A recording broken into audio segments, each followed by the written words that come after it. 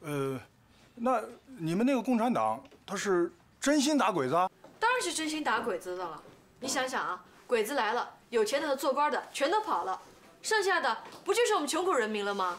遭迫害的不就是这些人吗？姐，怎么了？出事儿了！哎，别着急，怎么了？兄弟们，上吐下泻的，好像好像中毒了。中毒了？哎，行了，你们在这等着。把你舌头伸出来。怎么样？他们都吃什么了？在地主家吃的烙饼。地主家怎么会舍烙饼啊？兄弟们说，地主为了要跟咱们搞好关系，今天舍了烙饼，一人两张管饱。这，这肯定是中毒了呀！要知道中了什么毒才能有解药。我想想办法。这样，我给你开个单子，你派人去城里抓点现成的药来。行，那我准备一下。啊。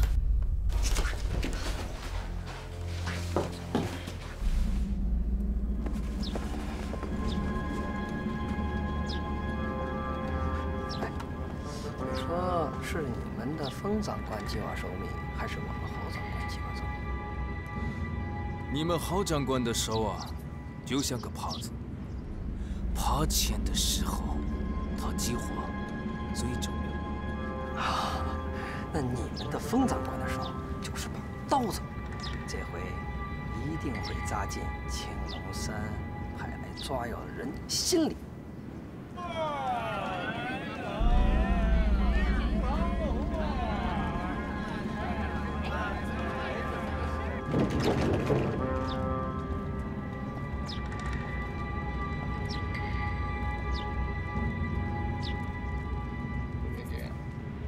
怎么会想到这么土的一个法？在中国，这种土办法往往很有用。长官，果然有人来买药。什么药？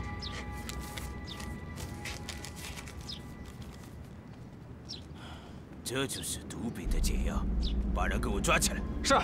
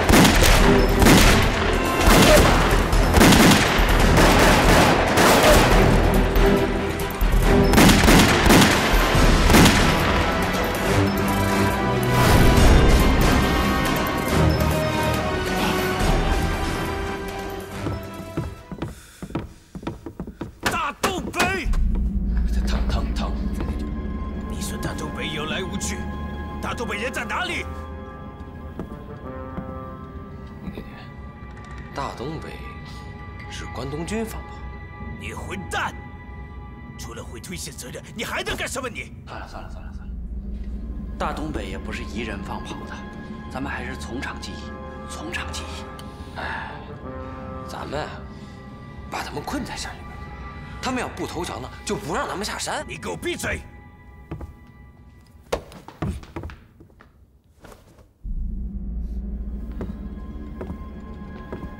德吉，军部制定了一个驻篱笆的计划，目的就是把能够帮助抵抗军的村子和屯子隔离开来，在他们的外围扎上一道篱笆，把他们彻底和抵抗军隔离开来。哎，好，好吗？闭嘴！我我不说。多吉军，这个任务交给你了。好，我干过农活，扎篱笆这事儿我会。好。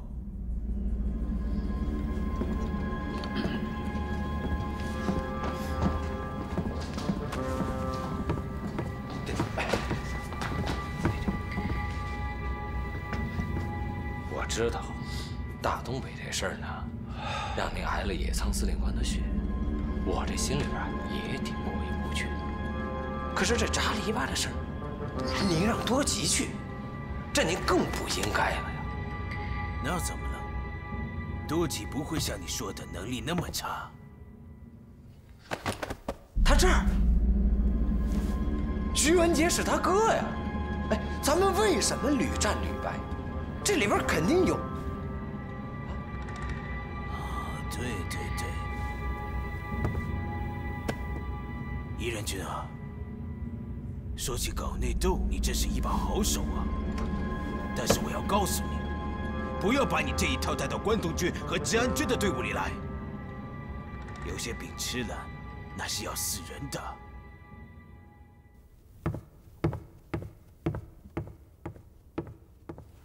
这到底是怎么回事啊？遭到伏击了。来，赶紧坐下，坐下。来，我看看。没事没事。这不行啊，我们得送他下山去做手术。山下都是鬼的，咋下山呀？可是这子弹他还留在里面呢，不做手术，他有生命危险呀。好了，啊，别吵了，直接动刀子，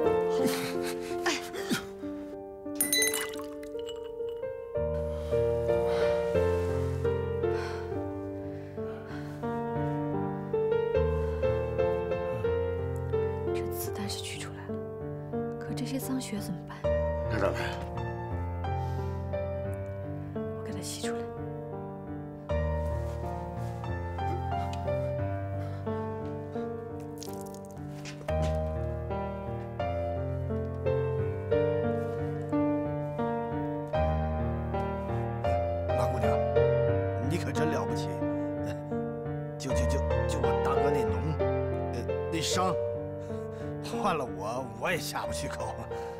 这小子都不知道多长时间没洗澡了。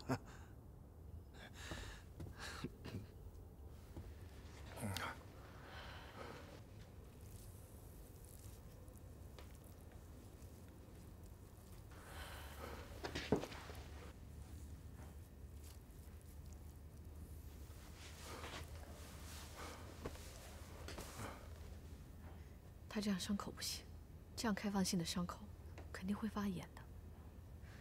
这样吧，找两个兄弟跟我一块儿上山采点草药，回来给他吃了，可能会有用。行，这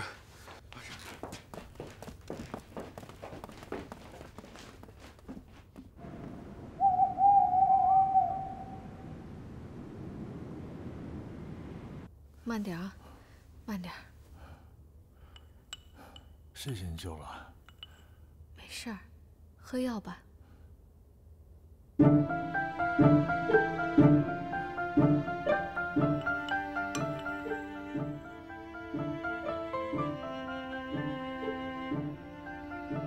这药啊，能帮你消炎的。俺小时候生病的时候，俺娘就是这么抱着俺，给俺喂药。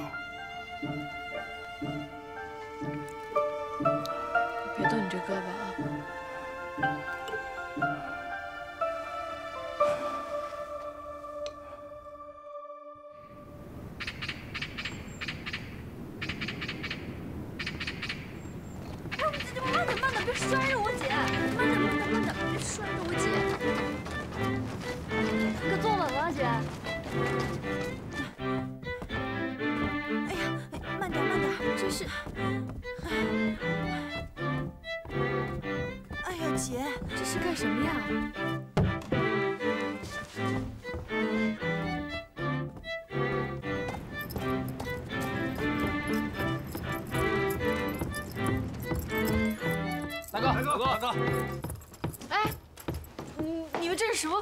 你让我坐在这干什么呀？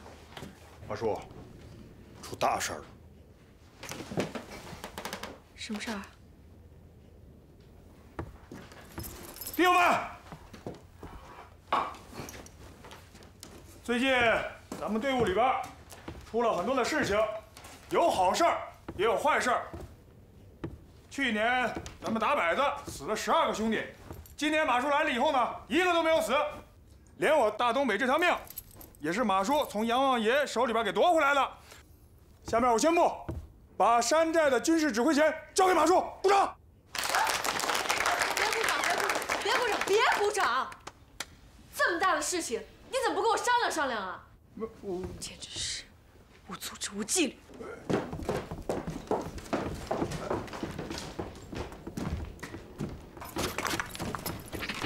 唐姑娘，唐姑娘，来来来，咋了？你咋走了呢？我知道你是想感谢我。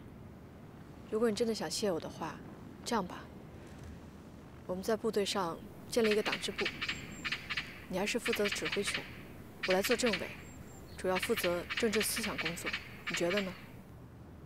政治思想工作是是是干啥的？啊，想不太明白。嗯你说啥就是啥呗。好，那既然有了政委了，我们就是共产党的部队，番号要符合我们党的军事传统。番号，番号就是取名字呗。呃你喜欢取个啥名字就取个啥名字。那以我们部队现在的规模，我觉得我们应该叫中国共产党抗日联军独立旅。抗日联军独立旅。那，好，好听。嘿嘿抗日联军独立，抗日联军独立，嘿嘿不赖。来了。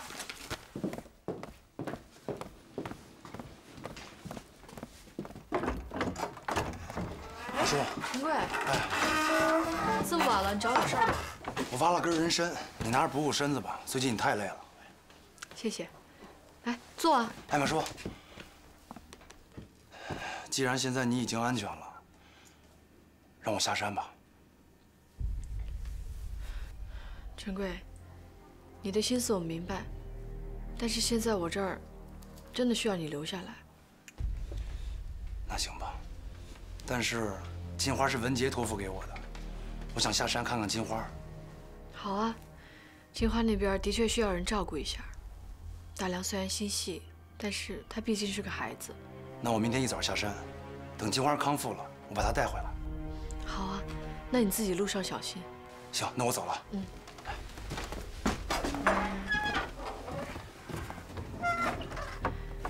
情况怎么样？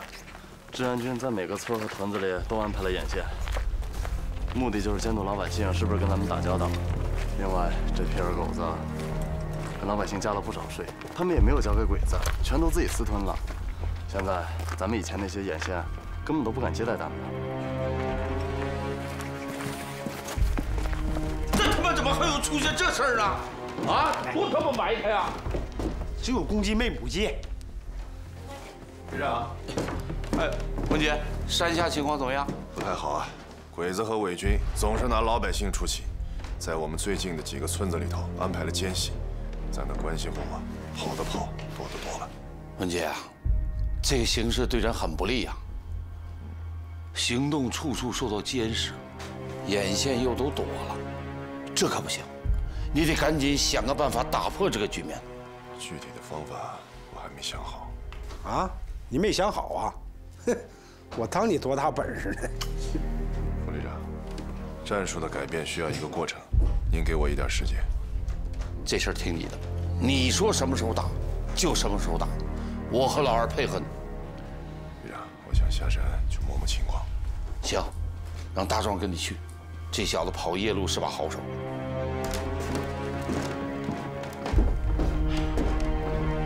大哥，你说这小子这么大本事，他干啥不到锦州投靠东北军去？你说为啥呀？哼，这我可说不好。这小子藏的深呐，那鬼心眼子，绝对在你我之上。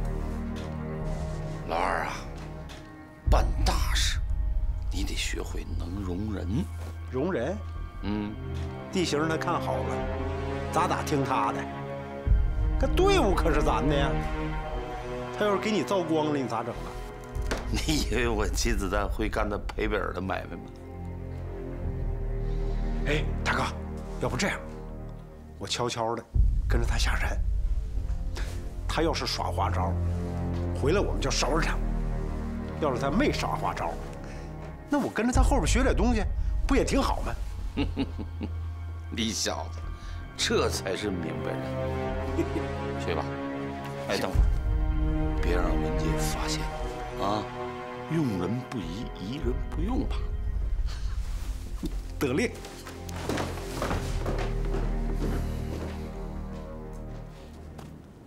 大壮，哎，这地儿你比较熟，住哪儿好？大哥，自从鬼子进来以后，原来的关系都断了，住哪儿都一样。啊，你瞧瞧后头那谁，哎，看像二哥呢？你二哥真是个好人呐！打咱下山起，他就一直保护着咱俩，真累。就咱俩这功夫，还用他保护？我看呐，摆明就是不相信你。小庄，哎，小时候玩过捉迷藏没有？捉迷藏？哎！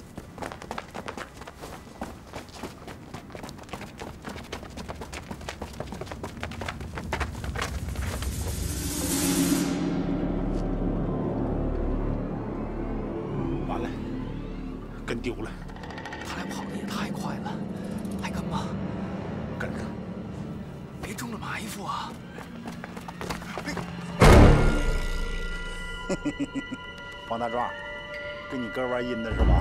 长本事了，把枪给我拿开。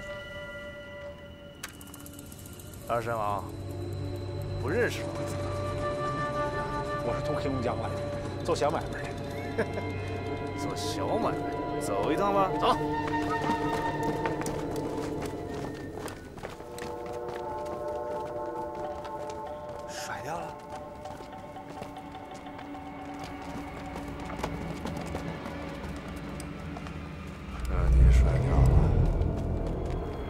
真是冤家路窄啊！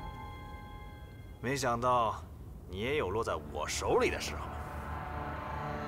当年在山寨，我就因为偷吃了一只鸡呀，你打了我二十皮带，还把我赶下山。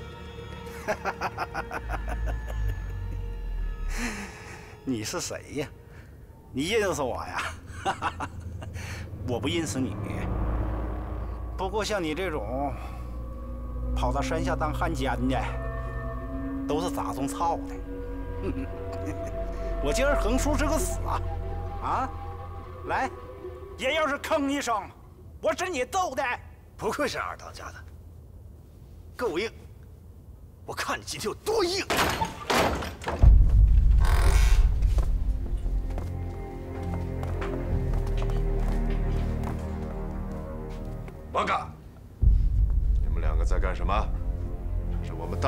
帝国的要犯，要是让你们打死，怎么审问？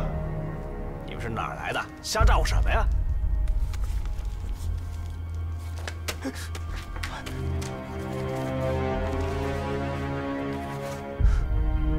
中佐先生，中佐先生，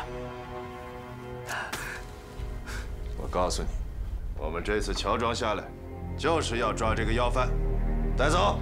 嗨。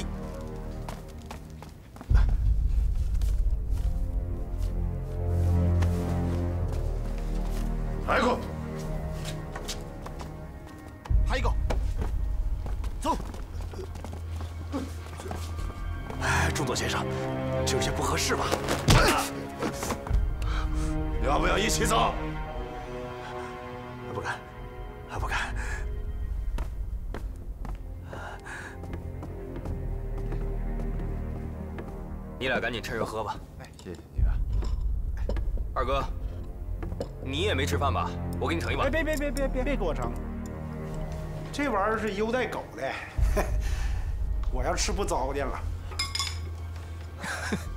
那我必须给你盛一碗。哎，我咋把这条狗给忘了呢？哎，二哥啊，你咋张嘴就骂人呢？我骂人了吗？我在骂狗啊！二哥，您被伪军抓又不是俺们的错，干嘛拿俺们撒气啊？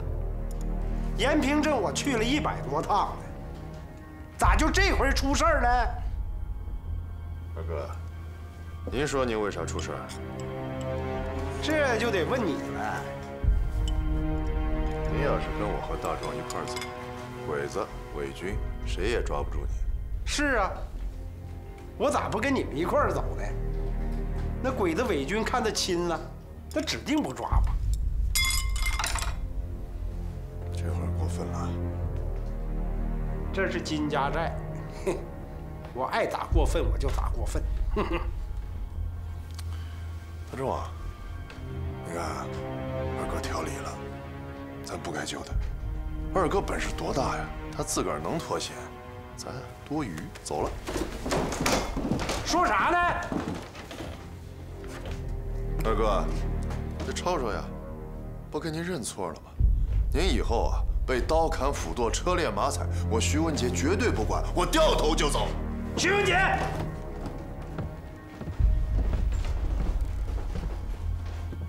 你再给我说一遍，老子整死你！把手松开，别伤着自个儿。我崩了你，你信不？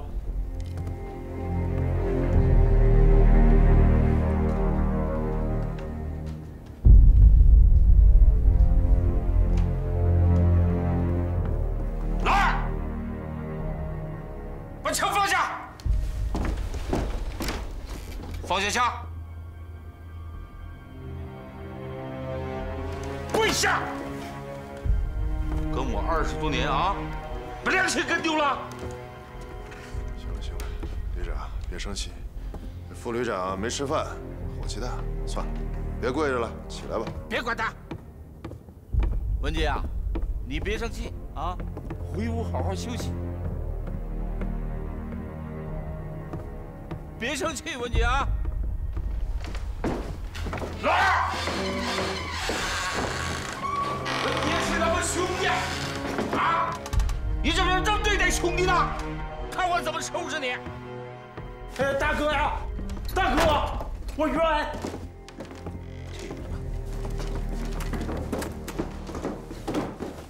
发现什么了？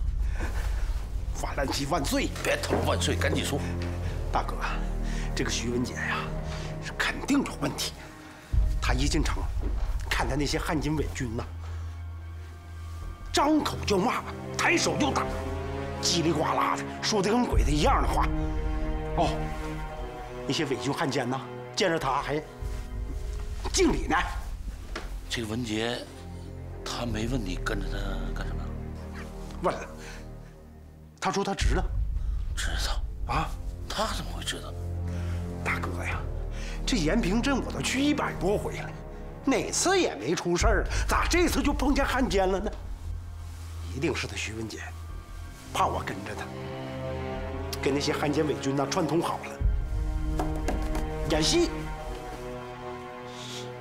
这给汉奸汉奸给他敬礼，哎，打还不还手，这事是有点怪啊。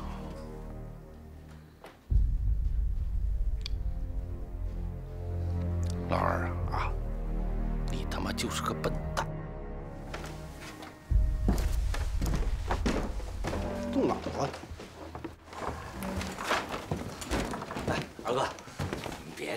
气啊，消消气。来，坐坐坐坐坐。我跟您这么说，二哥，这就是骑在咱们脖子上拉屎。大当家的他也真是的。为了一个外人这么说你，你咽得下这口气吗？你说啥？我大将军啥时候忍气吞声过呀？要不是看他大哥老护着他，我早跟他来硬的了。这硬的要是不行啊，咱就来软的。这样，我舍身取义，用我的姿色拿下他，到时候让他在我的裙下颤抖、啜泣。哎呦，三娘，还啜泣呢？满山寨的人，只有我在你面前，那才是啜泣呢。铁猴子，别打岔了，听三娘把话说完。我喝醉，趁着酒劲儿去找他，只要我一得手，铁猴子你就冲进去把他拿下。哼，那徐文杰做出这种事儿，我就不信金当家的还容得下他。哎，三娘这法子管用。哎呀，三娘，你真是英雄啊！古人云：“风萧萧兮易水寒，壮士一去兮不复还。”好，三娘，铁猴子，说实在的，我还真佩服你。为了俺们山寨，你啥都敢舍呀！啊，她可是你媳妇儿，哼，可这绿帽子戴的，哼，比鬼子钢盔还绿啊！哎呀，二哥，我我这么做也是为了山寨呀，也都是为了你。这二，你看我现在，我他妈浑身都绿了。你受委屈了。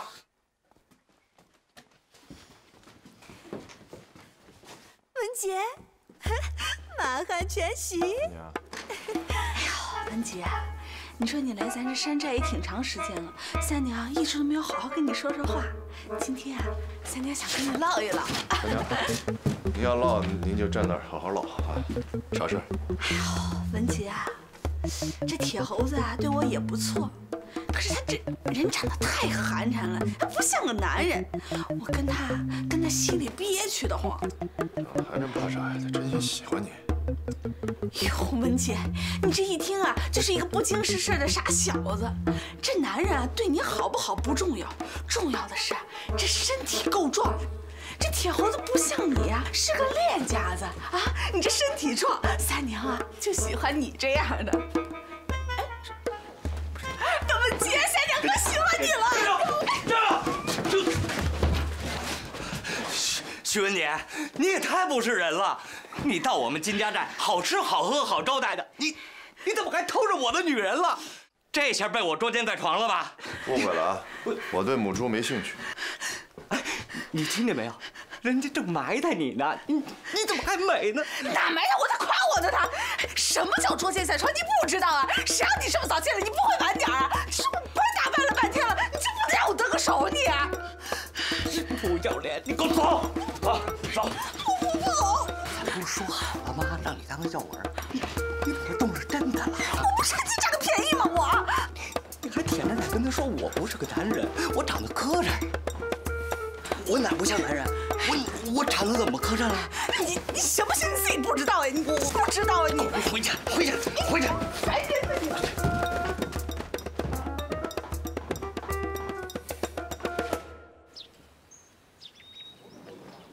八十五，八十六，八十七，八……哎呀，文姐，队长，练啥功呢？一直要出去啊！哎呀，活动活动腿脚。哎呀，文杰呀，那天那么危险的情况，你都把老二能救出来，了不起，了不起！我那不碰巧了，无巧不成书啊。哎，那些鬼子和汉奸。还真听你的是吧？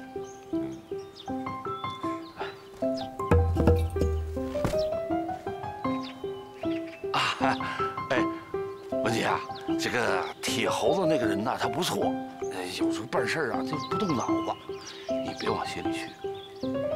哎呀，文杰，我这白虎山家大业大，弄到现在我花了不少心血，你得帮我看着点。你瞧，我就带来三十几个人。他带领白虎山那么一大家子兄弟打鬼子，难以服众啊！要不您考虑考虑？啊，我我不是这个意思，你多心了，你多心了啊！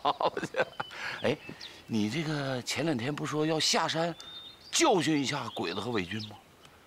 这仗怎么打？你跟我说说，我心里有底。你瞧，这不正要勘察敌情，制定作战计划吗？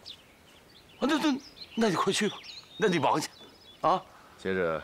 练您的神功，哎呀，还还到神功，胳膊腿肉都他妈松了，不如年轻的时候了，得练呐。八十九，十。二哥，哎，这大白天的，咋还躺着呢？起来吧，俺们唠唠嗑。哎呀，老二啊，你说你和文杰为什么那么不对付？我瞧不上，我也信不过。你说他这么大本事，他干啥窝着我们这小山沟子里？啊？他干啥不去锦州投靠他们东北军去？那儿的油水不比俺们这多呀？徐文杰有打鬼子的本事，这一点是我亲眼看见的。哼咋里巴呼的，真能打？他干啥没动静呢？啊？说要教训鬼子伪军，都准备十几天了，光准备不动手。你是不敢打呢，还是不想打？你不敢打为啥？你不想打又为啥呀？哼不敢打。伪军都是东北军没跑了的，不打不结仇，放自己人一马，这将来还得共事呢。你说呢，大哥？老二，你终于学会用脑子想事儿。大哥呀，你就老实在吧。他徐文杰才带来不到三十人，俺们金家寨的人马有三百多，你凭啥就把指挥权交给他呢？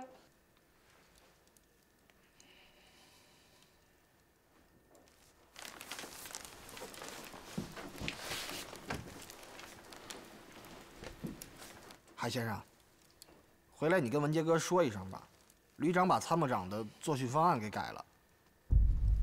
这方案是旅长改的，嗯，这有点过河拆桥啊。海先生，您您别多想啊，也也许大哥不是这意思呢。要是按照这个方案呢，特训队的队员们会逐渐的离开作训的第一线。骨干们要是都走了，我们这些人也就没有必要在第一旅再待下去。那根本就不是大哥的意思，都是二哥，想让小的跟真别人似的。哎，海先生，我跟你说啊，我跟三哥还有大哥，我们是一心拿你们当自己人的。可是老二心眼子有点歪，他就是嫉妒文杰哥有文化会打仗，一天到晚在大哥面前说文杰哥坏话。那大哥整出这么个东西，那全都是二哥挑唆的。其实现在最为难的是俺俩，左边呢是十几年的兄弟，右边呢是过命的文杰哥。也不知道这二哥到底是怎么想的，好好的大家在一块打鬼子不好吗？这不明摆着吗？你看，以前老二是大哥唯一的接班人吧，现在有文杰哥了，他怕将来文杰哥替了他，所以才千方百计的轰文杰哥走呗。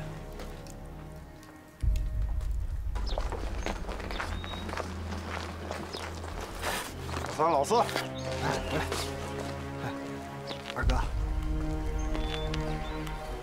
你们俩没事儿老跑徐文姐屋里干啥去？啊？说。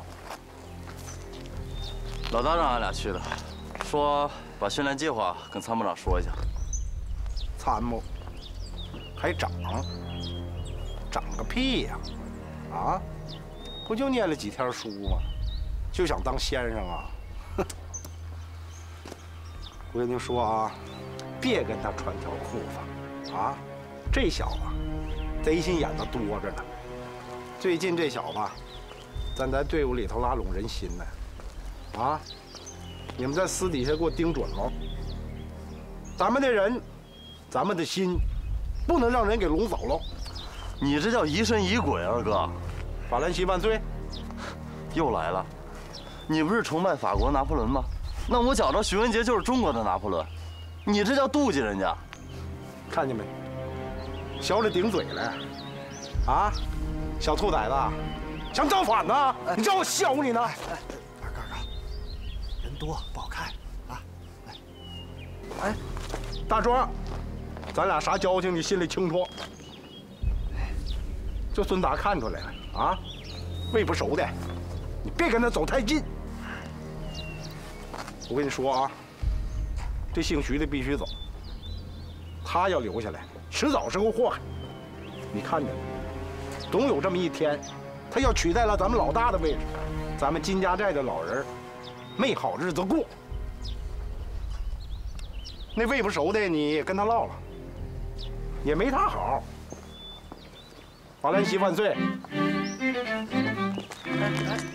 打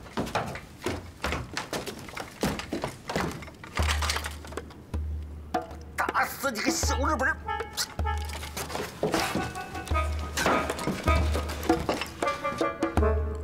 单践行，这个瘪犊子！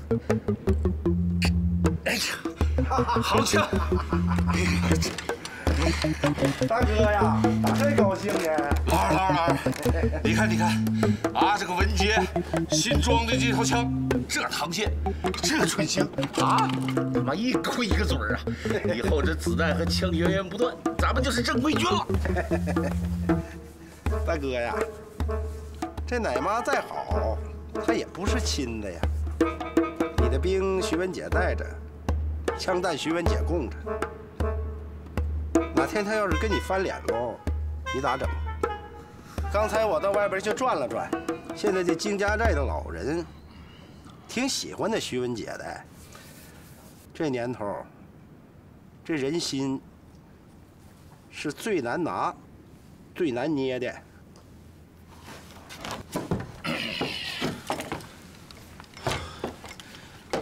老二啊，啊，传我令下去。以后调动部队，必须有我金子弹的手令，啊，没有我的手令，谁调动也不好使。参谋长也不行？法兰西万岁！得令。杀！老师，最近不太对头啊，这调人都调不动了。队长，咋了？我现在还是不是排长？是啊。我还是排长，我是啥排长？我教他新兵训练，一个都教不动。那别说你了，我都调不动，你能调得动啊？去查查咋回事。哎，这个训练计划呀，是旅长和副旅长新定的。旅长今天上午说了，以后调一个兵都要依靠他的手令。这啥命令这是？哎，明摆着这要跟咱分家呀！要分咱就分，咱有枪有人，跟他混一块干啥？有啥意思？